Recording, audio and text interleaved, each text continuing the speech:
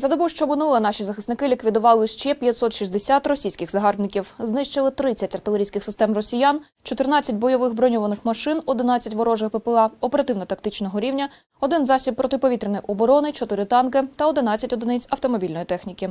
Загальні втрати російської армії від початку широкомасштабного вторгнення, за даними Генерального штабу, станом на 28 липня, такі.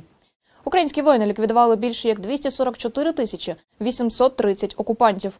Російська армія втратила 4190 танки та 8161 бойову броньовану машину. Наші оборонці відмінусували 4775 артилерійських систем загарбників. На 698 одиниць стало менше ворожих реактивних систем залпового вогню. Наші воїни вивели з ладу 458 засоби протиповітряної оборони ворога. Приземлили 315 літаків та 311 гелікоптерів. Автомобільної техніки та автоцистерн у ворога поменшили на 7240 одиниць. Російська армія втратила 18 кораблів та катерів. Сили оборони України знищили 4007 безпілотних літальних апаратів ворога та збили 1347 крилатих ракет. Спеціальну техніку окупантів наші воїни вивели з ладу у кількості 709 одиниць.